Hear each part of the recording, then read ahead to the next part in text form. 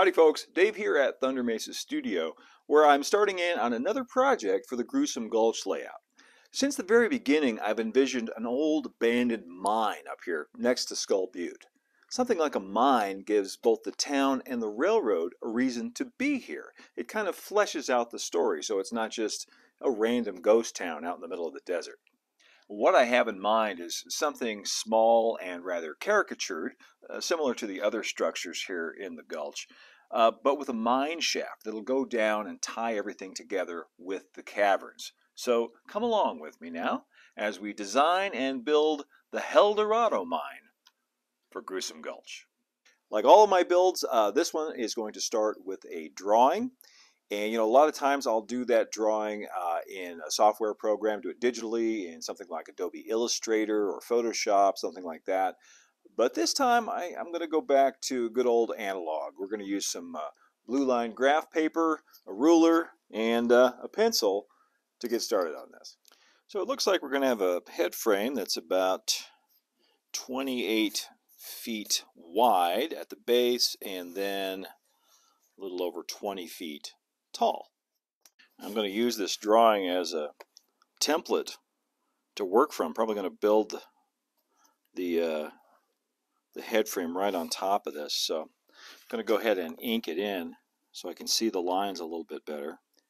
Great advantage of having a full-size drawing like this to work from is that it tells you right there um, exactly how much lumber you need and the sizes and even the angles that they need to be cut by. So I'm going to gather up all of this scale lumber and pre-cut and pre-stain everything so we can jump right into construction. This set of parts here that I'm using to build the, uh, the hoist shack that goes at the back of the mine might look a little familiar to you if you watched my uh, build video on the Blackjack mine which I did for the, uh, the Bandit Canyon Railway project. Uh, it's exactly the same set of parts. Um, in fact, these go back all the way to the Big Thunder Dynamite Shack, which I built for the Thunder Mesa layout. I've distressed and cut all of the lumber that I think I'm going to need, at least to get started, but I've decided that I want the shack itself to be about a scale foot narrower than it is. So I'm just cutting out one of these boards and then just gluing it back together. These pieces are cut from some um, 1 16th of an inch thick basswood plywood, which is a great material to work with. To stain all these pieces, I'm using the same two-step process that I used over on the Deadeye Saloon because I want that same kind of dark brownish gray patina that you see on old buildings in the desert. And the first step is to go over it with a, uh, this is a Minwax Early American wood stain marker. Then once that's had a chance to dry, go back over everything again with my uh, India ink and 70% isopropyl alcohol stain. Now I can finish setting up my drawing as a jig. I've uh, glued a, another piece of foam core down here to act as a stop. Now I'm using some clear packaging tape, laying it right over the top of the drawing so that when I glue the pieces together, they won't stick to the paper. I'm going to notch this upright just a little bit so that this diagonal piece will lock in. Just cut down just a little bit. And take your hobby knife and a flat file. And to assemble this, I'm just using some uh, good old yellow carpenter's glue. Position this upright piece first. I'll use some dress pins. Push down into the foam core to keep it in position. Just line it up right on top of the drawing. I'll set this aside for a minute, let that dry, and I'm going to go ahead and assemble the hoist shack.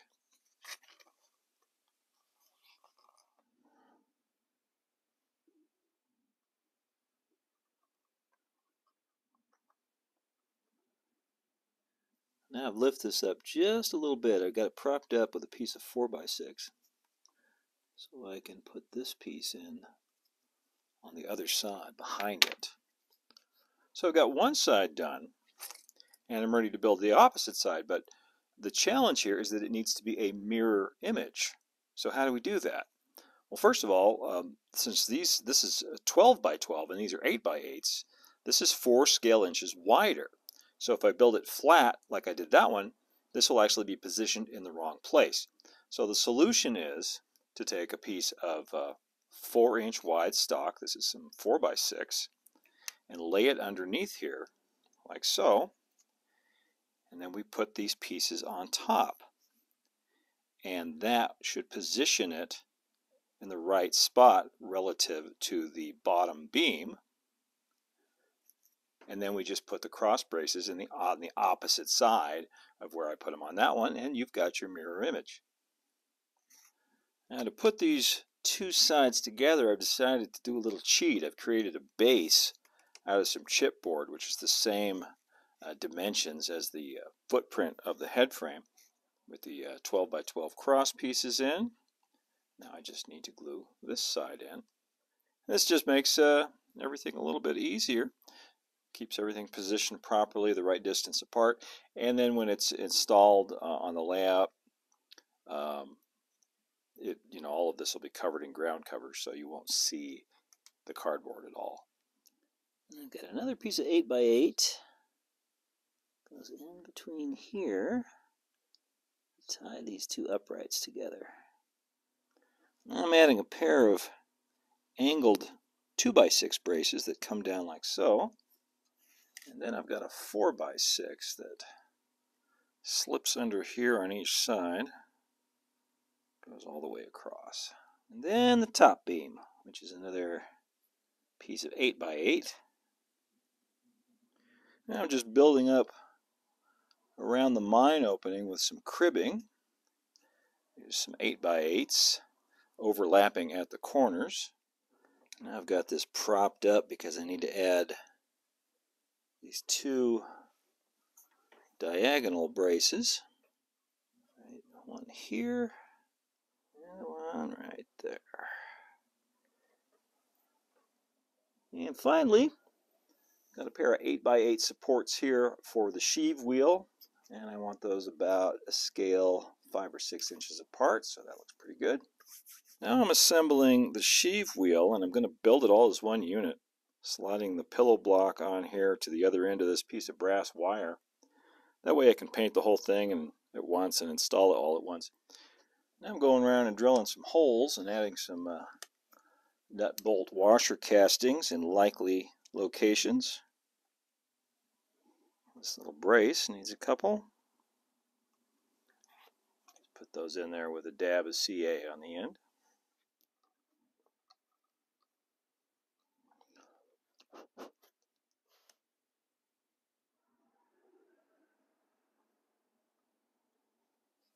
Back here where the shack's going to be, you won't actually be able to see any truss rods, so I'm not going to bother to actually model them.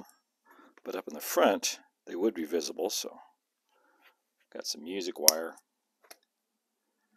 And I've drilled the holes all the way through. There. Now just cap it at each end with one of those uh, square bolt washer castings. Now I want to create some iron straps that'll wrap around this top beam here. Just an extra reinforcement. So I'm going to use some Bristol board. I've cut it to about a scale 6 inches wide I'm going to paint it that uh, dark brown. Now I've drilled some holes and added nut bolt washer castings on both sides. I want this this wheel to look good and rusty. So I'm going to kind of dry brush on some uh, burnt sienna and orange. Now I can just snip this right off the wire and glue it into place. A little bit of CA, I think.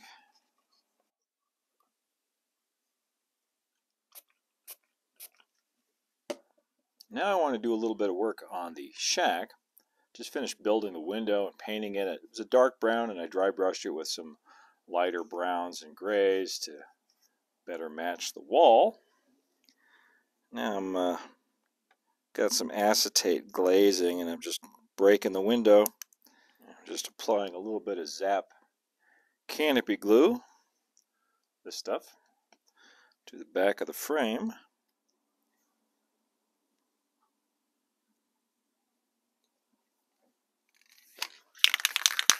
I want this window to be so dirty that you can't see through it. So first step is going to be go over the back with some uh, Rust-Oleum matte finish. Give it a little bit of tooth. And some dirty gray colored chalks on the back. And we'll spray it again. I think that'll work. Now I can trim it out with some 1x4s. Now I can trim the door side in just the same way. And I'll add a Z-brace to the door just, just because I like the way they look. Well, now I can put the two parts of this thing together, glue the shack in. I just want to add a piece of 8x8 as the ridge beam for the roof. For my winch cable, I'm going to use some uh, number 10 crochet thread, but I'm coloring it with a brown Sharpie, which will give it a nice rusty look. I can thread this through the sheave down into the structure. I cut a hole in the bottom. I can run this down through. I'll just put a little dab of CA on the wheel. Put this over on its side and use just a little bit of CA and a square of gaffer's tape to hold that in place. Now I want it to look like the cable has snapped and is just hanging loose. So I'm painting it with some diluted white glue. So this crochet thread will stiffen and hang straight down. I also want to fray the end a little bit. For the roof, I've cut a couple of uh, chipboard panels and temporarily taped those together to make sure they fit the way I want them to on the structure. Also painted it uh, dark brown underneath. And now I've got some um, some Plastruct corrugated roofing material and I'm cutting this into a three foot wide strip and I'll take and cut these into probably eight foot long, so three by eight. All right, I've got nine panels, and that's going to be more than enough. Go ahead and get some gray primer on these, and we can get this roof finished. While the primer dries on those panels, get a couple other bits of business done. I want to make a, uh, a smokestack coming out from the steam engine that is presumably inside of this little shack. And for that I've got a piece of straw. This is from a juice box. And a bamboo skewer. I've cut the angle here at the bottom to match the slope of the roof. And I'm going to put this bamboo skewer inside. I'm going to pot it in with some cyanoacrylate. Now I'll get some paint on this. Now I'm using some 2x6 to frame in this hole, this opening where the uh, hoist cable comes through the roof. Now I can glue this side of the roof on. I do want to have a light inside of the building. Um, just a lone yellow flickering LED that's what this is, a 3 millimeter flickering LED. And so the, about the only place I can put it where it won't be visible you know, through the windows or through cracks around the door or something is up here under this under the roof. So I'm using some 3M foam tape. This is the industrial strength variety. Bend that down a little bit. Put some black gaffer's tape over the top to secure it even more.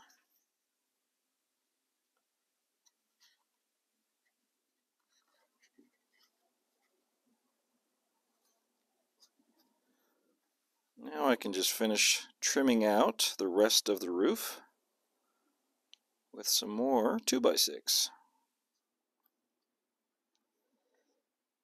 To finish up the paint job on these corrugated panels, I've got some uh, orange and some burnt sienna acrylic paint and I'm just going to take a little piece of, um, this is just regular yellow kitchen sponge and go over each one. And the sponge gives you a nice random pattern. And I'll just continue to go over each one of these until I get it the way I want it. So to apply these uh, corrugated panels, I'm just brushing some Aleene's tacky glue on the back.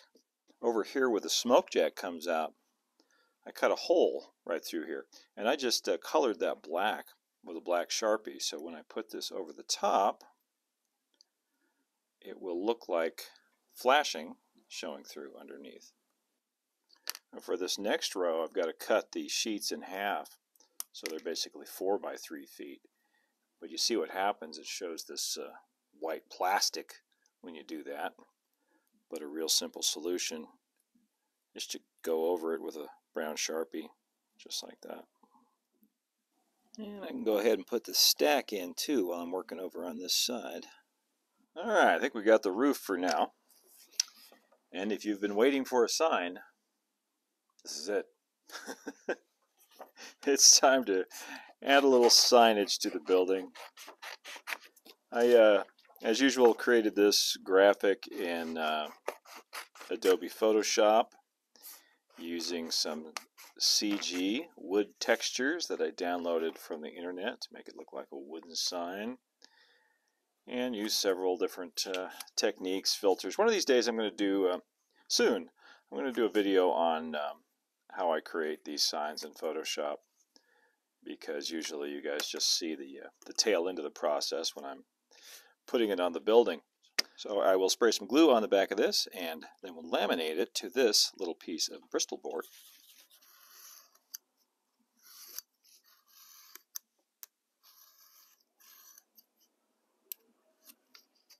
And we'll glue this one to the back of that one. Now I'll use my watercolors and paint the edges a warm gray so it looks like wood. Now I'm going to mount this on a piece of 2x6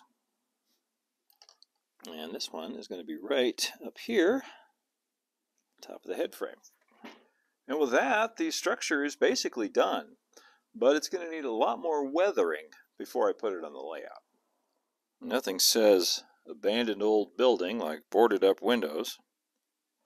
So the first thing I want to do is Put some 2x6 across this window here, like it's been boarded over. I'll break one of these.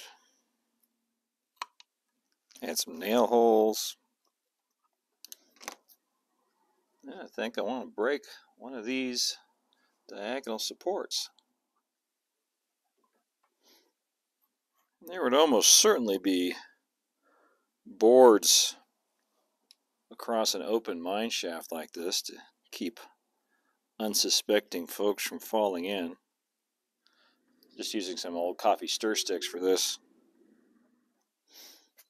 There, that tells a little story.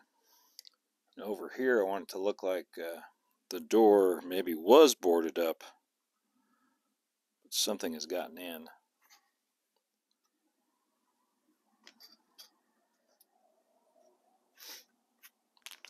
Well, now I want to gray this down a little bit, uh, like dirt and grime has splashed up onto the building over the years.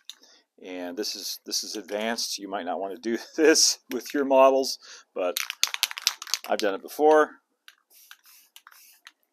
So I think I can get away with it. This is some Rust-Oleum aged gray. And I'm not going to spray it at the model. I'm going to spray it around the model. So it just comes up onto the bottom. And of course, you can do this very effectively with an airbrush as well. Now it's time for some chalks. I'm going to start up here on the roof, work my way down and around. Start off with some rust colors, some orange and terracotta, gray Great thing about chalks is they go right where you need them. When you're doing corrugated like this, it goes right down into those grooves where the rust would be. I'm also doing this to dull the shine. The acrylic paint tends to have a little bit of, even when it says matte, it's still going to have a little bit of a shine to it. I want to go over all of the metal on this, not just the roof. Throw a little black in there to darken things up. Some soot from the uh, smokestack. Some more rust here on the wheel and the winch line, hoist line. And moving right along, we'll add some dirty grays all down around the bottom. Okay. I think that's sufficiently gnarly looking. Let's get a coat of uh, clear matte finish on that. With the above ground portion of the mine essentially finished, now I want to turn my attention to the mine shaft itself, which will go down, down, down into Cadaver Caverns. The first step is creating a base for the mine out of some uh, one inch thick extruded polystyrene foam, the same stuff that the rest of the layout is built out of and I'm finishing it with all the same painting techniques. Got a uh, coat of the, the scenic base coat on there, and now I'm going over it with a black wash to darken everything up back in all the cracks and crevices. Then I want to go and dry brush over all of that with some lighter shades of gray. Same way I did with the rest of the scenery. Just using some granite gray and some dark blue gray mixed together. Go over all of this. Bring out the rock texture and the highlights. Take some of this unbleached titanium and mix that in. Makes a great highlight color. Warms things up just a little bit. It's more makes it for more of a warm gray. Now I'm just spreading on a little bit of Aleene's tacky glue. I can glue this structure down to the base. Make sure the opening lines up with the mine shaft. There we go. Now I want to backfill in all around the entire structure with my usual dirt and rocks that I use all over the Gruesome Gulch layout. These are cinders black and gray mostly.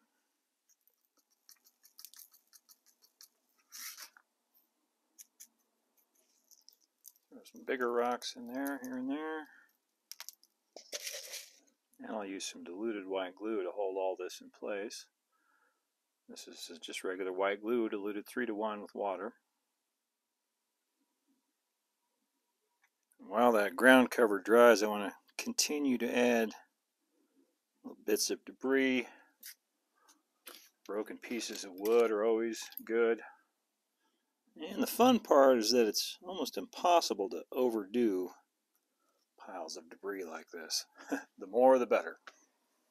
I want to have a lot of old rusted iron too. I've got some bits and pieces from my scrap box that I can throw in here.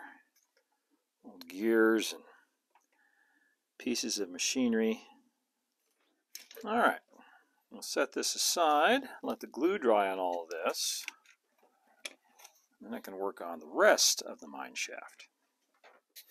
I've uh, cut a hunk of two inch foam for the lower part of the mine shaft. So the mine's going to sit up here and the shaft will go down. This will lead down into the caverns and then disappear underground down there. So now I just need to texture this rock surface use a wire brush.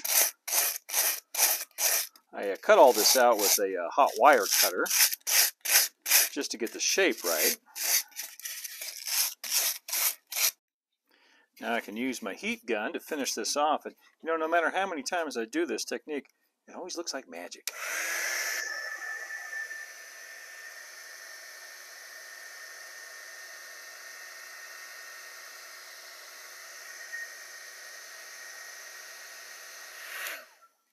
Alright, now I can paint this up just like I did the base.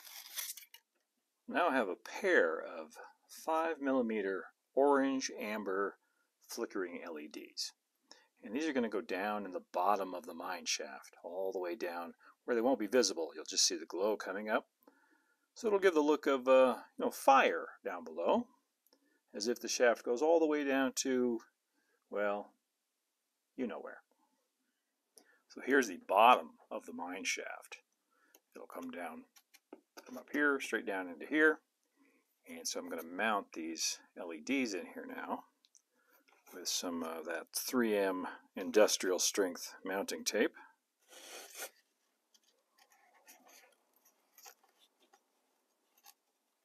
like that. Any final blending or weathering of the mine could be done over here on the layout. In fact, probably be better that way. So I'm just going to go ahead and glue the whole thing right into place.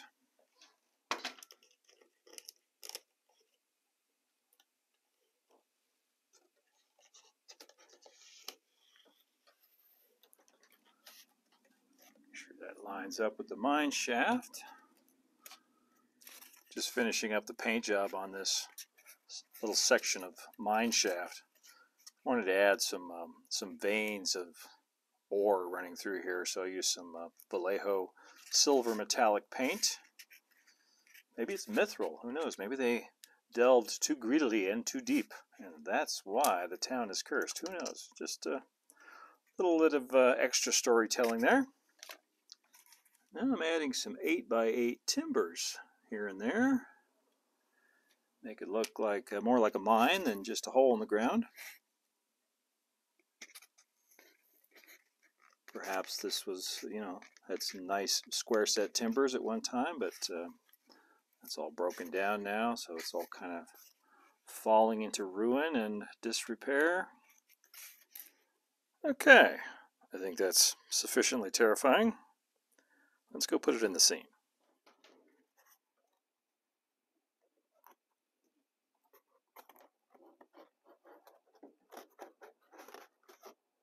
Now I'm just going to blend these parts together with a small batch of Sculpt Mold and then I'll uh, paint it all to match.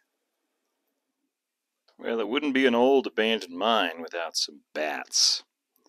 And these are some little 3D printed guys from miniprints.com, highly recommended. I have uh, mounted them on some pins so I can put them here around the mine shaft like they're flying around. Dab of glue on the end here. Just push that right back into the foam.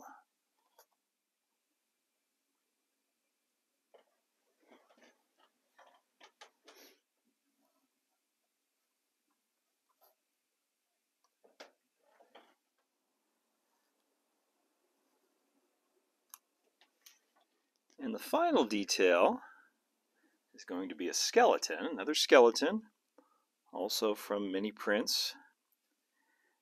And I've uh, rearranged his limbs so he can be uh, hanging on the rope up above the uh, the open mine shaft. Right now I'm using some acrylic modeling paste to add some rags, ragged clothes to him. Just building it up in layers.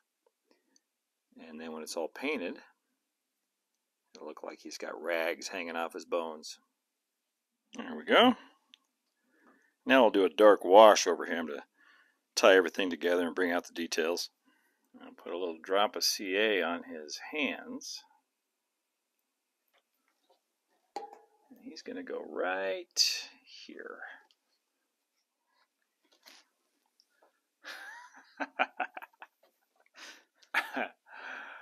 oh, I love it when a plan comes together.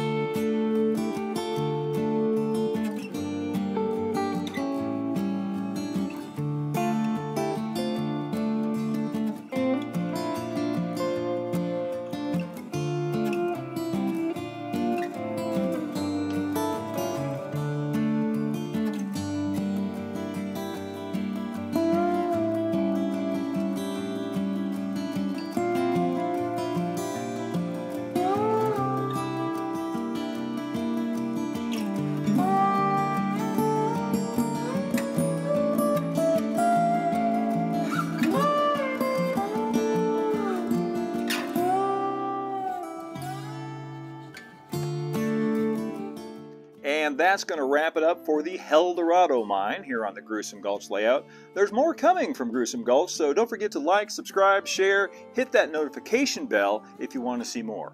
You can also follow Thunder Mesa over on Instagram at thunder.mesa and see what's new on the Thunder Mesa Studio website at thundermesa.studio. And if you really like what we're doing here at the channel and want to show your support, you can head on over to patreon.com slash thundermesa, like these nice folks did, and show your support there. Until next time, keep moving forward, my friends. Adios for now.